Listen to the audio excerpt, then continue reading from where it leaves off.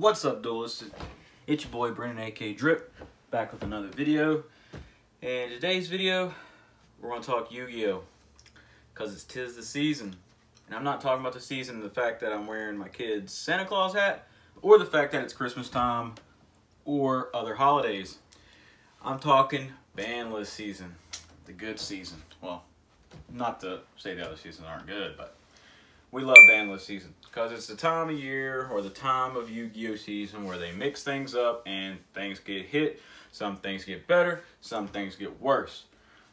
But we all, as duelists, for the most part, love the January one. Myself personally, I feel like that's the one where they mainly like to clean house.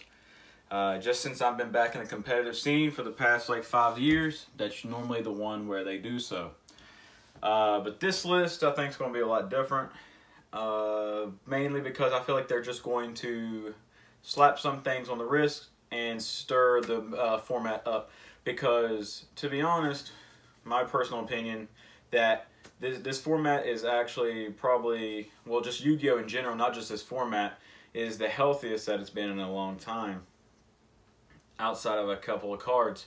So I don't think that they're going to destroy a lot of decks. I think they're going to slap some decks on the wrist hurt the consistency and get rid of some generic stuff, mainly because they have the YCS is coming around and Yu-Gi-Oh's trying to get back in the IRL play and people need to play with their physical cards. So this talk and discussion is not my prediction list. It's what I can see them hitting along with some biased and some wish list. So it's mainly a Yu-Gi-Oh discussion, not a not to get confused with a prediction, uh, like a set in stone prediction. Now, some of these cars getting could be getting hit. Yes, I can 110% see some of these cars getting hit. Could some of these cars that I mentioned come off the list? 100%. So don't get confused with that. And it's just my personal opinion, what I would like to see getting hit. And basically, that's basically what we're all it is. So basically, we're going to start out with the band section. I only have three cards on the band section. I know that might be different from what other people have, but the first card I have on the band section is the Simorgh Link. This card has got to go because it promotes way too much and it adds so, too much consistency as well as like just being overbearing with what it can do. The tutor out, the barrier statue, bring out anything that it needs from the deck. It, there's no reason if like the the card is literally summon Slurk on steroids for the most part for winning beasts. It can't makes it to where they can't be targeted or anything like that. So like this card has got to go because we can't necessarily hit Bird up directly because the deck is too new. It still has new support coming out, so it'd be a bad business decision. So I think that is the problematic card more so than um, barrier statue. After talking with some of my friends, I, I, at first I said just ban barrier statue straight out.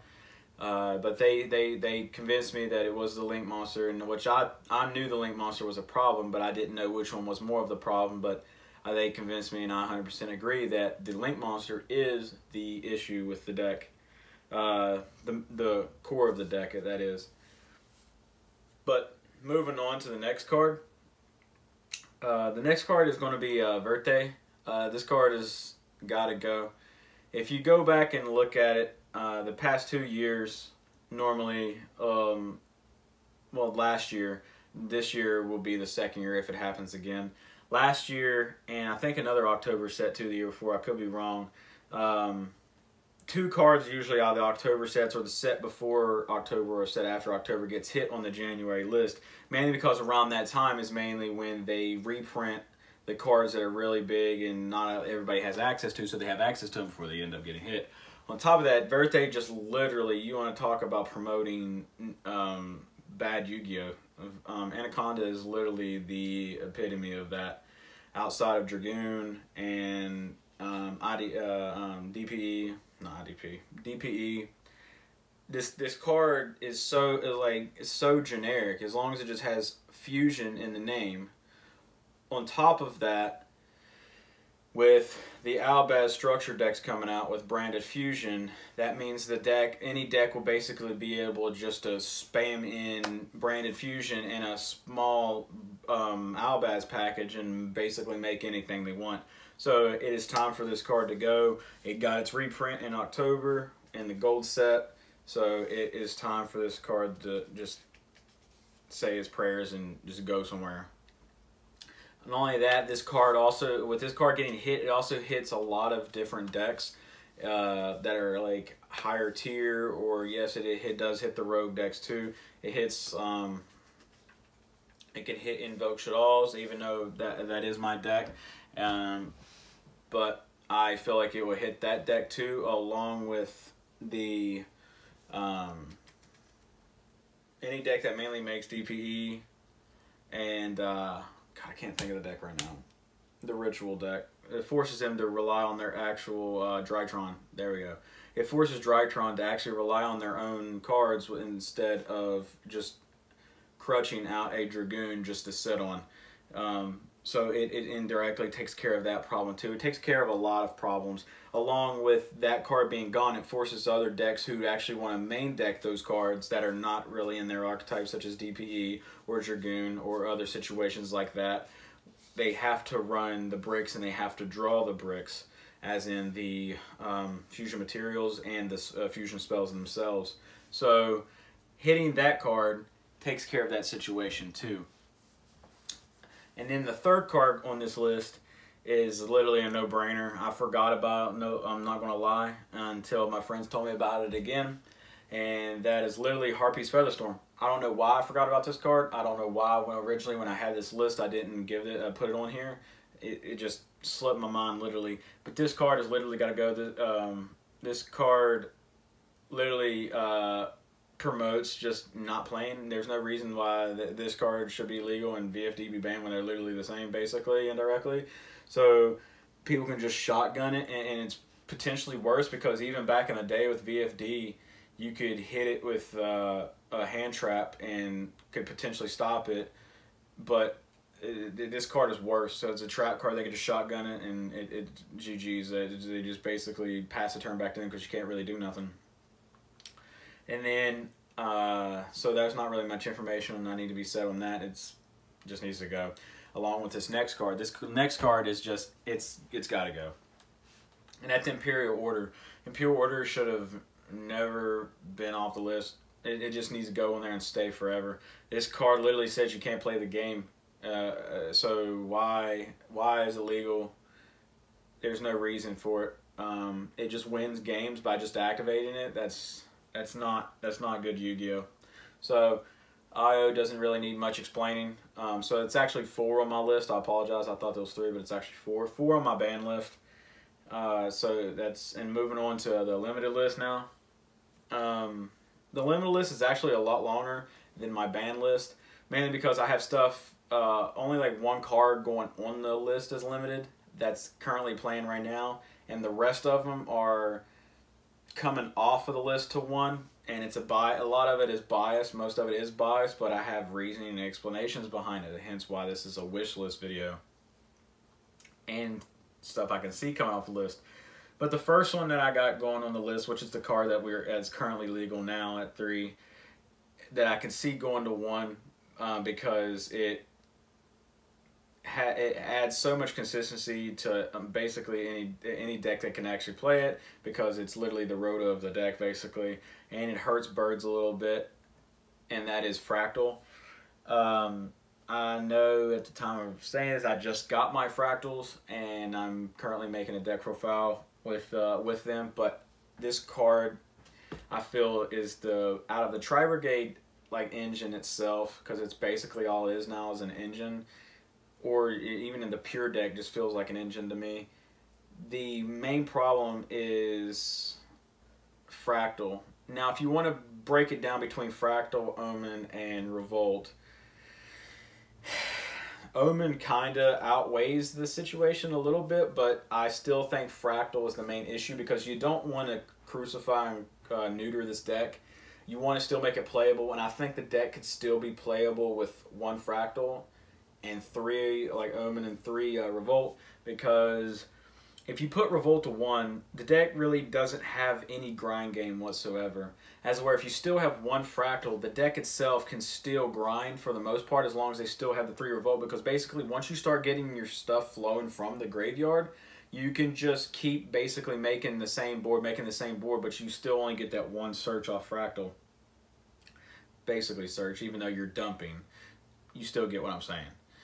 So I feel like if they hit Fraktall to one, the deck can still like contend at the same like the high uh, the high level that it's at right now, but also indirectly smacking another consistency smack to bird up without actually hurting the deck itself. Because even if the Simorgh Link is gone and Fraktall's put to one, if they still want to run the Tri Brigade engine, which I don't feel like they would actually opt to do that, but I don't play bird up, so I don't know.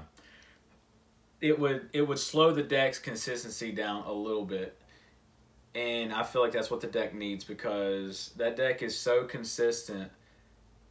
Literally, sometimes I feel like the only thing that can stop that deck is literally Droll, nothing else. That's just my opinion. I don't know, but then again, like I said, I don't play the deck.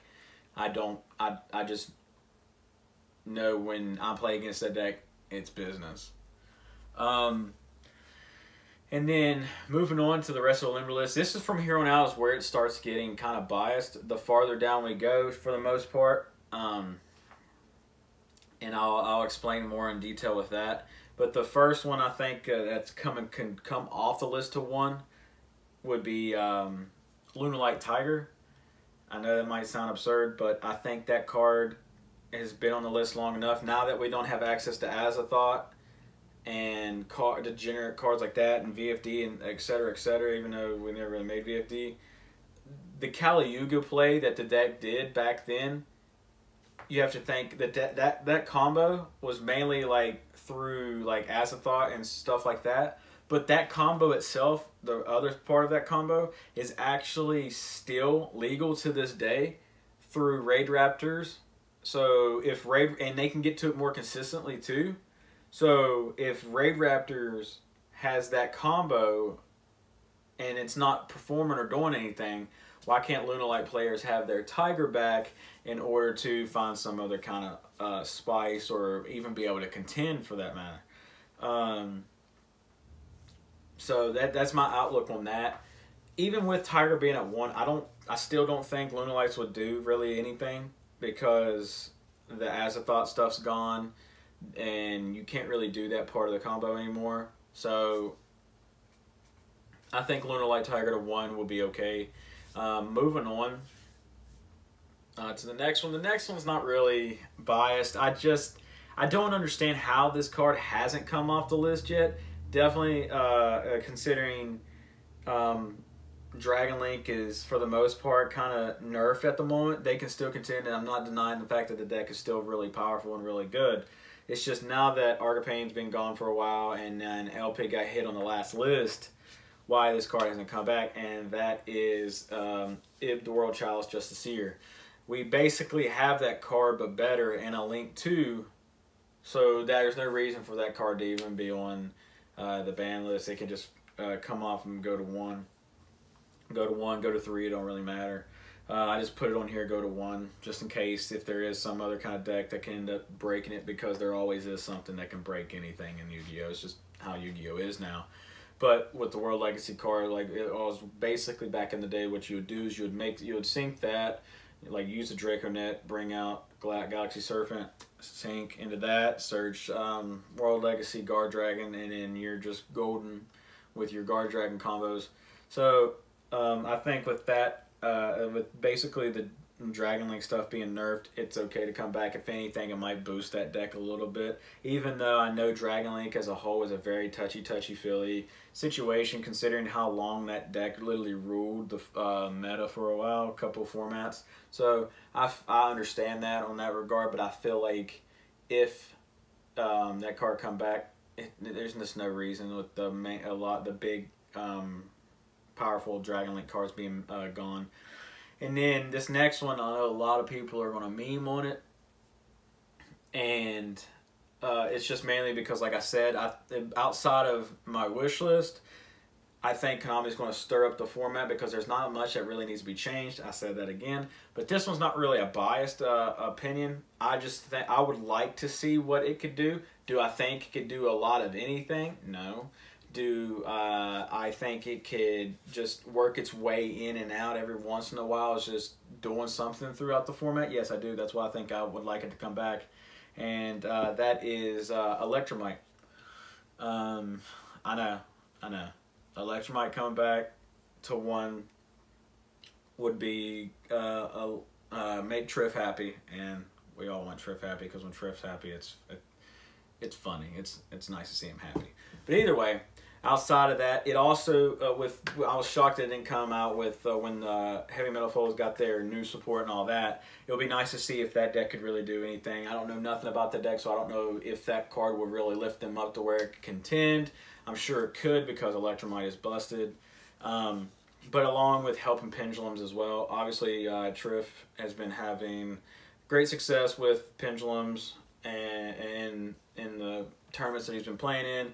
But outside of just pendulums himself, between pendulums, any version of pendulums, it would be nice to see their basically their best support card. That, my opinion, I think they've had uh, they have had at least top five it, it needs to come back and help them out a little bit because I feel like every other summoning mechanic is like has gotten support really, except for pendulums. And I know pendulums is a very touchy touchy feely situation too, but it, without indirectly giving them new support, you could give them their old support back to where they can at least play and contend at a higher level than they really are now.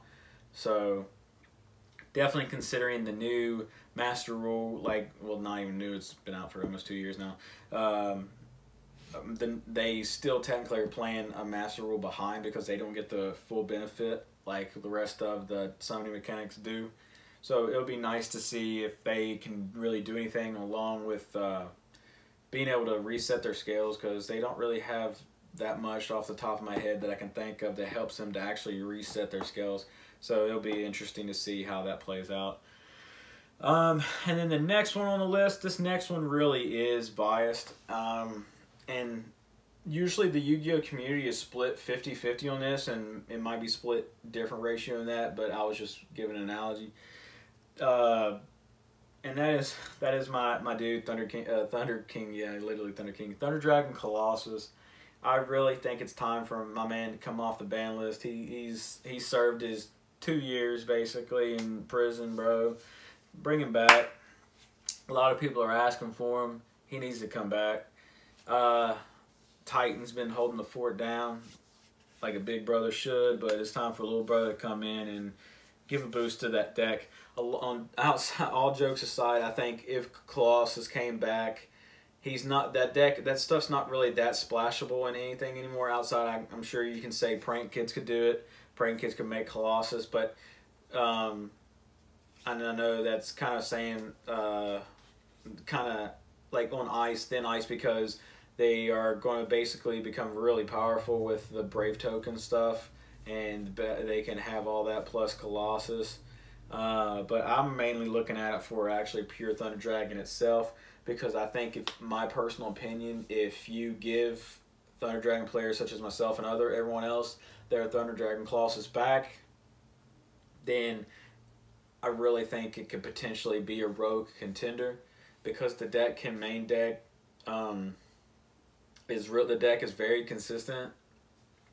The deck can main deck Dimension Shifter, and we've already seen how that goes with a deck that can main deck Dimension Shifter like Flunder. Um, it immediately it immediately just blows out a lot of the uh, meta and format. So I really think Colossus coming back would be a uh, immediate um, rogue contender slash tier two deck, if not better, depending on what spice you could potentially mix it with. I'm just talking about pure as a whole, and it will also indirectly slow down the other top tier decks too, just because of Colossus being a floodgate yes, you can make the argument that the fact that he uh, a floodgate that can protect itself, yeah, that is really kind of busted. I understand that, but there's a lot of lot more cards now that we they that Yu-Gi-Oh didn't have back then. That is a non-target, non-destruction send, like Zeus and um, I can't really remember that spell card. Those two off the top of my head. Uh, there's another spell card that just literally sends it. Um, but either way, that that plus Dark Ruler, uh, Forbidden Droplets, stuff like that can easily uh, help play against one single Colossus. So, but I do think if he came back, it really would um, mess up the meta a little bit. But moving on, another biased uh, um, opinion I'm honestly going to say, but there is reason behind it. If it were to come back, I feel like it would not be as oppressive as it used to be. It wouldn't be really probably splashed and everything like it used to be. Depending on how things played out, if it was, it's mainly because people missed it and really wanted to play the engine again. And that is Harp to one. Uh, Orcust it has been flowing like a roller coaster here in the past few weeks, up and down, in and out of um, tournaments, and doing relatively nice. So I think if they had Harp, it would just be that much nicer because they would. I feel like they could have more of a contention because they would get that additional plus one, and I feel like the deck as a whole wouldn't be. I think it would be more of a pure deck, whether you're playing the pure Orcust or you're playing like a trap Orcus or you're playing like uh, the Mekk-Knight Orcust, which is my personal favorite. If you're playing those versions, I feel like that's basically all it's going to be. It's not going to be how it was back in the day, where it was they were literally just throwing anything in Orcust because of Knightmare Mermaid and uh, uh, shenanigans like that. So Orcust was literally everywhere. It, it just absorbed the entire format basically.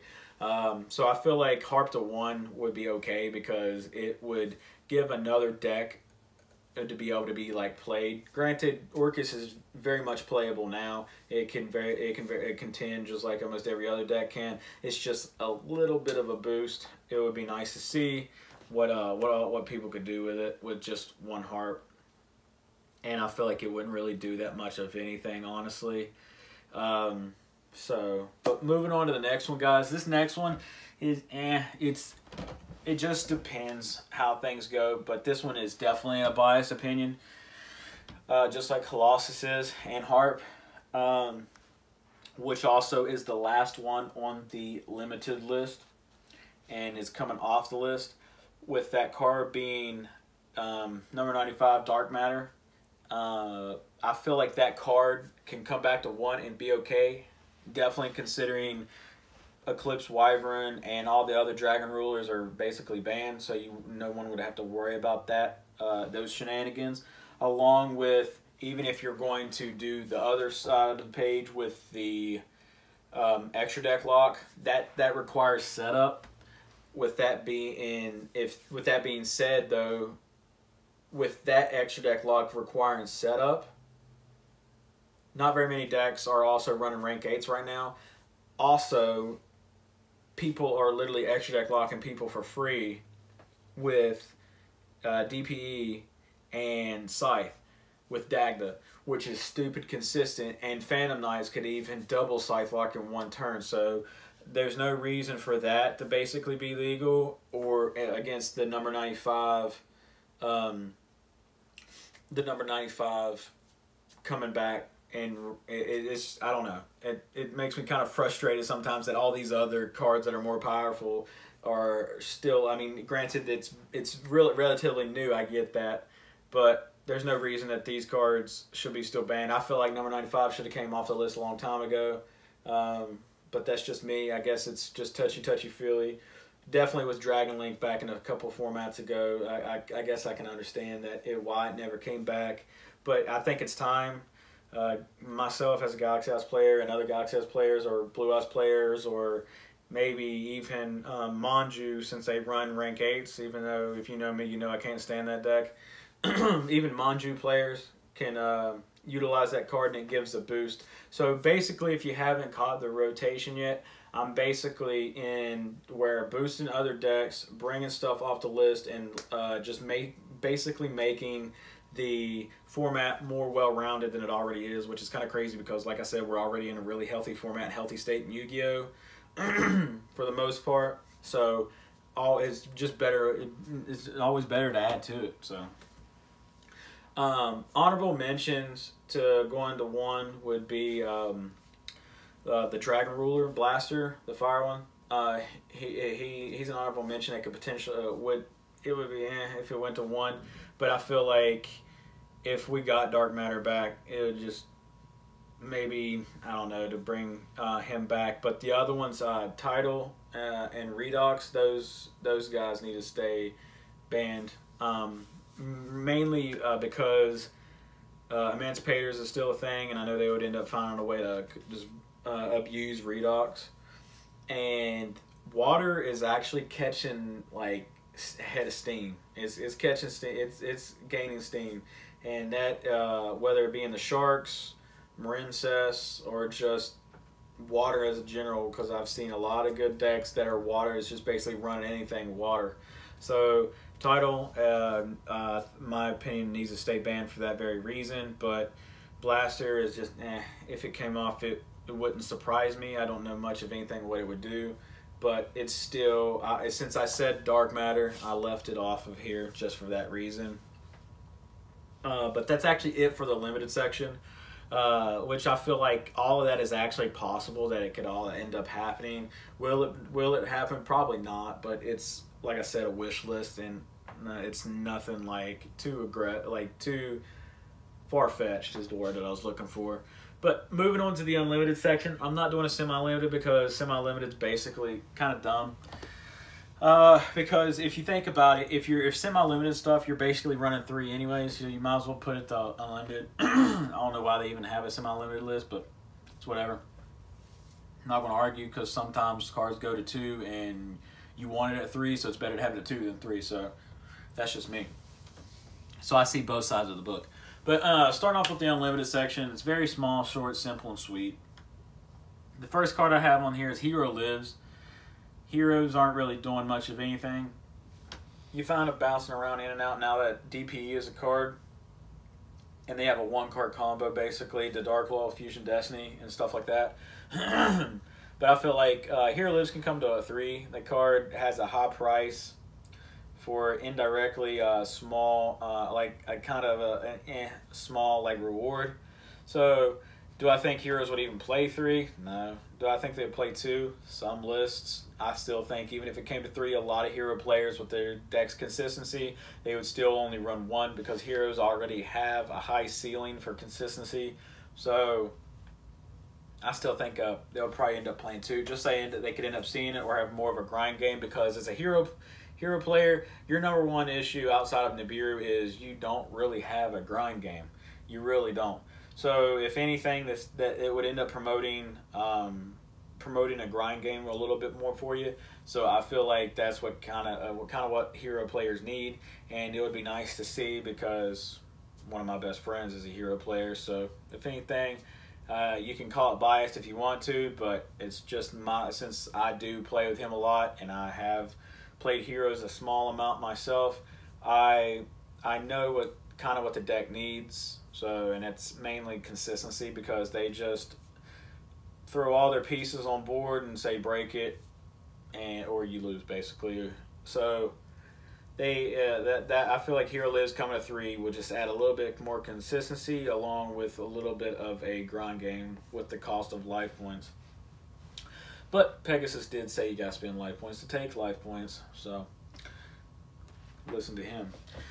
All right, moving on to the next one, and the next one on my unlimited list, literally, it, has been it came to two. This previous list hasn't really done jack diddly squat, so going to three is not going to change anything, and that is Danger Nessie. As a Danger Thunder player back in the day, I can vouch that this car back then was actually very potent and uh, very strong being able to run three of the big uh, the big three is what I call them, and that being Nessie, uh, Jack Jack, and Such, because you always got a body with those six. You basically have nine upstart goblins and uh, board presence. It was guaranteed. So Nessie can come to three. Uh, it at two hasn't really done anything. I think Yu-Gi-Oh is beyond that point where it was at back in the 2018 format in 2019. So I feel like it coming to three wouldn't really change much of anything. It'll give uh, slower decks more of a boost, and level seven decks more of a boost, rank sevens rather.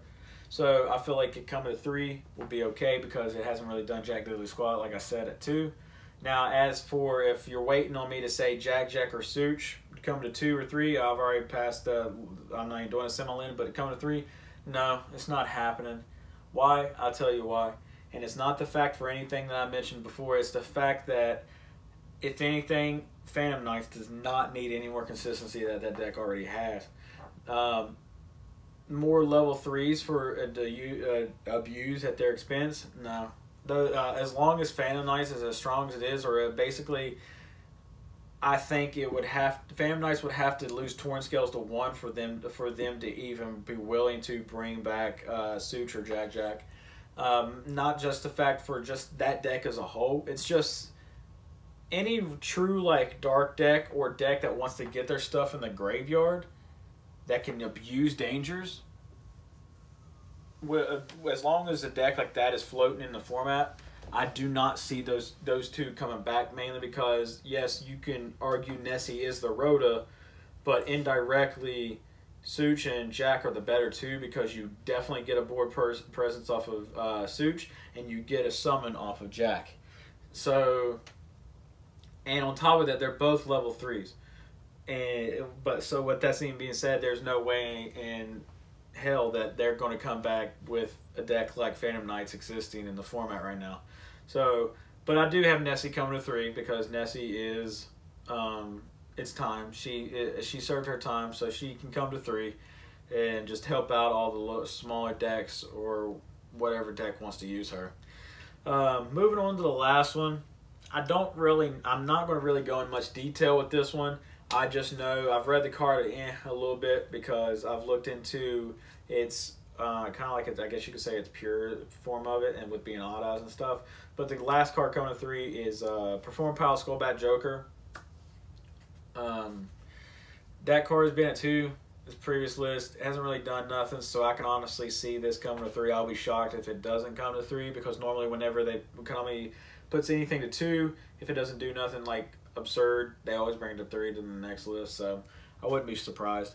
Uh, but mainly because, like I said before, pendulums need a little lift up, give me up. So I think if they get this, they, they could find some, the, just pendulum decks as a unit, could find a way to like do some kind of cool shenanigans with it.